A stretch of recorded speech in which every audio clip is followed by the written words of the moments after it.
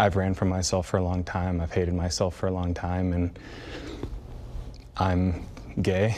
Former Bachelor star Colton Underwood sat down for a deeply personal interview with Good Morning America on Wednesday, revealing that he is gay. I've known that I've been different since the age of six, and I couldn't process it, and I couldn't put my finger on what it was until high school, my freshman year, when I knew I was gay.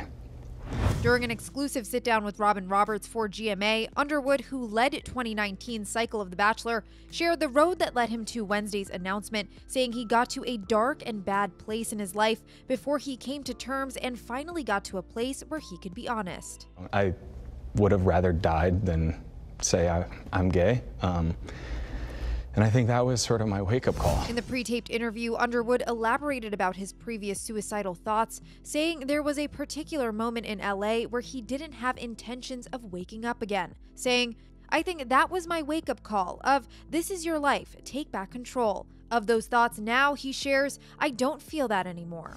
The former athlete also spoke candidly about his time growing up in the Catholic Church, saying, I learned in the Bible that gay is a sin, and recalled how, as an athlete, the word gay was used in a negative connotation.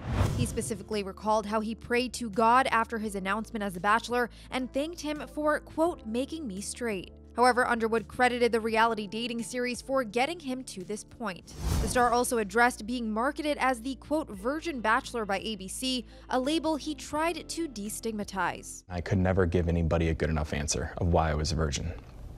The truth is, I was a virgin bachelor because I was gay and I didn't know how to handle it. As for people who may have felt that he misled the women on his season, he said he has regrets. Do I regret being the bachelor? And do I regret handling it the way that I did.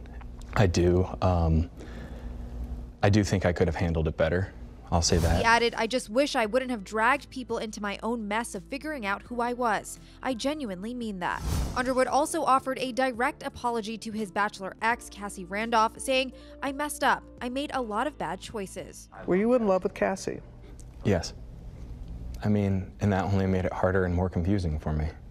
Roberts later said she could see the joy and relief in him in sharing this news. I'm like the happiest and healthiest I've ever been in my life, and that means the world to me. The Hollywood Reporter has also learned that Underwood is currently in production filming a reality show for Netflix that will focus on the star living his life publicly as a gay man.